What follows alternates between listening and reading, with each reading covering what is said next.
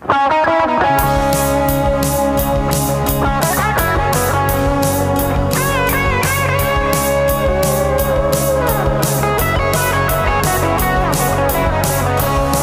había extrañado